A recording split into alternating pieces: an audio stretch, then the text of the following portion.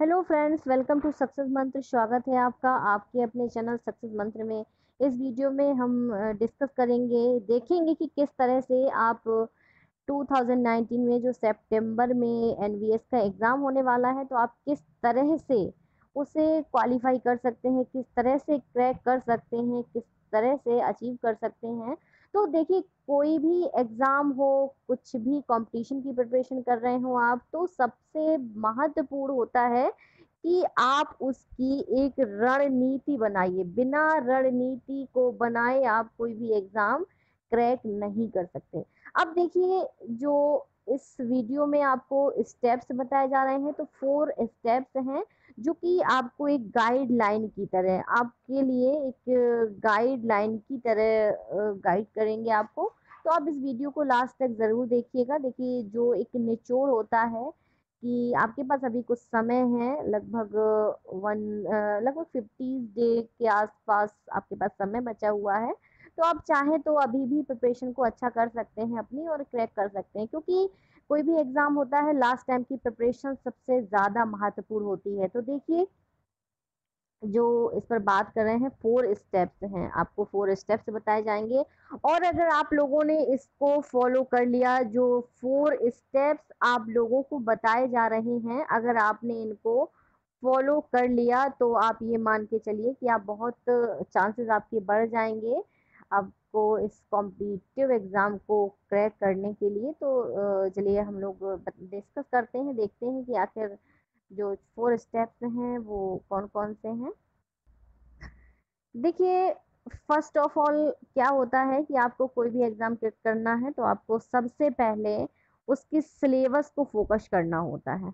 उसका क्या सिलेबस दिया है? जैसे इसमें मैं T G T and P G T and जो मिसलेनियस टीचर्स हैं वेरियस पोस्ट हैं असिस्टेंट कमिश्नर की पोस्ट है, सभी पोस्ट के बारे में डिस्कस करूँगी। तो सबसे पहले आपको अपना जो एनवीएस का आपका सिलेबस है, आपको उसको फोकस करना है। आपको उसको पढ़ना है। मैंने क्या क्या सिलेबस है, मैंने उसका भी वीडियो आपको डाल दिया है तो आप चाहें तो प्लेलिस्ट में जा कर के देख सकते हैं डिस्क्रिप्शन में जा कर के देख सकते हैं। तो सिलेबस को रीड करना है सबसे पहले, आपको पूरे सिलेबस को फोकस करना है कि सिलेबस में आखिरकार क्या पूछा गया है, कहाँ से क्वेश्चन आ सकता है। इसके बाद जो दूसरा एक बिग प्लान होता है कि आपको सॉल्व प्रीवियस ईयर के क्वेश्चन पेपर उठाने हैं। जो क्वेश्चन पेपर है प्रीवियस ईयर में, जितना ज़्यादा से ज़्यादा पुराने से पुराने पेपर लास्ट ईयर का पेपर अगर आपको मिल जाता है तो प्रीवियस ईयर के क्वेश्चन पेपर को आप उठाएँ, उनको रीड करें। उनसे क्या होता है कि आपको ये मालूम चल जाएगा कि आखिर जो क्वेश्चंस पुटअप हुए हैं, किस लेवल के पुटअप हुए हैं और क्या क्वेश्चन पूछे गए हैं, क्या क्राइटेरिया रहा है क्वेश्चन का, कितना डिफ़िकल्ट रहे हैं, कितना इजी रहे हैं। इवन आपको इन सारी बातों का पता चल जाता है कि आखिरकार जो क्वेश्चन पेपर था, उसका लेवल क्या था। लेवल आपको पता चल जाता है। तो दूसरा जो है solve previous year question paper तो इस पर आपको फोकस करना है। इसके बाद अगर देखिए deep study of those topic which is repeated आपको उस टॉपिक पर विशेष फोकस करना है जो रिपीट हुआ है। जैसे आपने मान लीजिए, आठ साल के प्रीवियस ईयर के क्वेश्चन पेपर उठा लिए। अब अगर आपने देखा कि विलियम शेक्सपियर रिपीटेड हुए हैं, कई बार रिपीटेड हुए हैं तो आप ये मान करके चलिए कि विलियम शेक्सपियर रिपीट होंगे और क्वेश्चंस विलियम शेक्सपियर से पूछे जाएँगे। ये बिल्कुल फैक्ट है। तो रिपीट जो क्वेश्चंस होते हैं, रिपीटेड टॉपिक्स होते हैं, उनको कवर करने की कोशिश की जाती है। आप उनको कवर करिए। इसके बाद आपने देखिए, जो स्टडी करनी है वो अकॉर्डिंग टू योर सिलेबस ही करनी है। ये ध्यान दीजिएगा, ये ज़रूरी नहीं है कि आप पर्टिकुलर कोई एक बुक से करें या दो बुक से करें या दस बुक यूज़ करें, ऐसा कुछ नहीं है। आपको ऐसा नहीं करना है। कोई भी एक बुक भी अगर आप उठा के देख लेंगे तो आपको उसका किस तरह से क्या करना है ये आपको पता चल जाएगा। एक बुक ही काफ़ी होती है। आपका ये हो गया। इसके बाद देखिए, जो आपने सारे टॉपिक्स हैं सिलेबस है, उसको फोकस कर लिया। इसके बाद सॉल्व प्रैक्टिस सेट आपको लास्ट फिफ्टीन डेज़ में प्रैक्टिस सेट ही सॉल्व करने हैं। जब आप प्रैक्टिस सेट सॉल्व करते हैं तो काफ़ी कुछ प्रिपरेशन आपकी बेहतर हो जाती है।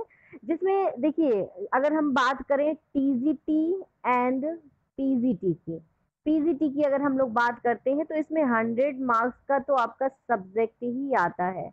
जो हंड्रेड मार्क्स होते हैं, वो आपका सब्जेक्ट से रिलेटेड होता है और जनरल अवेयरनेस भी होता है और आपका जो टीचिंग एप्टीट्यूड है, वो भी होता है। तो कोई बहुत बड़ा नहीं है, ये मैटर नहीं करता है कि आप एनवीएस को नहीं क्वालिफाई कर पाएँगे, नहीं क्रैक कर पाएँगे।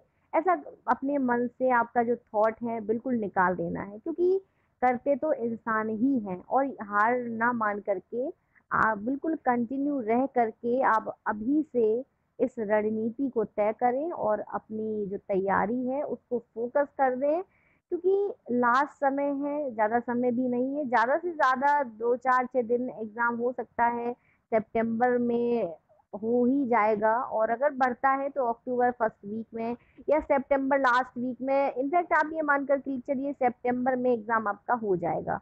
तो ज़्यादा समय नहीं है, इस वजह से आप इस तरह से अपनी तैयारी को करिए। और हमारा भी प्रयास है कि आप लोगों के लिए daily top twenty general awareness के क्वेश्चन सब्जेक्ट से रिलेटेड क्वेश्चन आप लोगों के लिए लेकर आए जाएँगे। तो आप चैनल को सब्सक्राइब करके बेल आइकन ज़रूर प्रेस कर दीजिएगा क्योंकि जो भी आ, अगर लाइव सेशन होते हैं और जो भी पॉइंट्स होते हैं आप लोगों तक जो भी वीडियोस अपलोड किए जाते हैं तो एटलीस्ट आप लोगों उससे अवेयर रहें और उसको पढ़ सकें क्योंकि संभावित क्वेश्चंस ही आपके लिए लाए जाएँगे और जिससे प्रिपरेशन आप लोगों की अच्छी हो और आप लोग सक्सेसफुल बने। सक्सेस हो जॉब मिले आप लोगों को क्योंकि टीचिंग में वैसे भी बहुत ज़्यादा कंपटीशन हो गया है तो अब बहुत एक थोड़ा सा हायर लेवल पे सोचिए और टीजीटी पीजीटी केंद्रीय विद्यालय की वैकेंसी नवोदय विद्यालय की वैकेंसी बहुत बढ़िया है और इसके बाद के वी एस की वैकेंसी भी आने की संभावना है, वो भी बहुत जल्दी ही आएगी। तो यही प्रिपरेशन आगे भी आप लोगों को काम आएगी। तो थोड़ा सा ध्यान रखिए and we serious so we continue तो thank you and all the best